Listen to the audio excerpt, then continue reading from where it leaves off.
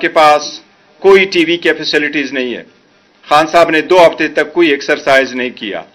खान साहब अब भी ढाई घंटे अपने सिल से बाहर आते हैं।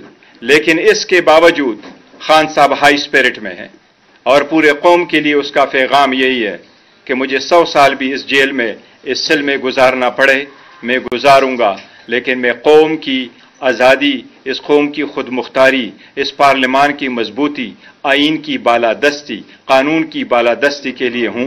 इन ताला आप रमन रहे और आप इन ताला मैं लिट डाउन नहीं करूँगा, मैं सब कुछ करूँगा, पर मैं किसी चीज़ पे कौम की इज़्ज़त और खुद मुख्तारी को कंप्रोमाइज़ नहीं करूँगा। हम पुरजोर मजम्मत करते हैं जिस तरीके से खान साहब को रखा गया था। खान साहब ने अलबत् इस बात का इजहार किया है कि डॉक्टर ने उसका मुआयना किया था और डॉक्टर आया था, एक डॉक्टर आया था। इसके साथ ही हम मुतालबा करते हैं फुरजोर सबसे पहले कि खान साहब के कुकूक का ख्याल रखा जाए। हर हाल में खान साहब को वो फैसिलिटी दी जाए जिसका वो इंटाइटल है। उसका आइसोलेशन में रखना उसको कंसोलिटरी कन्फाइन में रखना, उसको छोटे सिल में रखना, उनके आइनी कानूनी और बुनियादी हकूक की सख्त खिलाफ वर्जी है। हम उसकी मजम्मत करते हैं, शदीद मजम्मत करते हैं।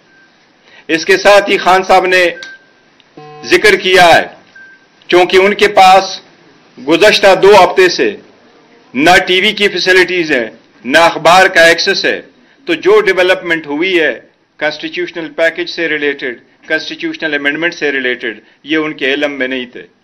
खान साहब को हमने बताया है और खान साहब ने अपनी बहन के अरेस्ट पे अफसोस का इजहार किया है। लेकिन खान साहब ने कहा, मैं और मेरी ख़ानदान हमेशा कुर्बानी देंगे। ये स्ट्रगल जो मैंने शुरू किया है, इस स्ट्रगल में मैं, मेरा ख़ानदान, मेरे बच्चे और पूरा मुल्क इन ताला मेरे साथ होगा। खान साहब का पूरे कौम से फुरमन रहने की अपील है। खान साहब यही कह रहे हैं कि ये स्ट्रगल सताईस साल तक इस आइन की बालादस्ती, कानून की हुक्मरानी के लिए मैंने किया है और इसी तरह इन ताला इसको सर अंजाम दूँगा।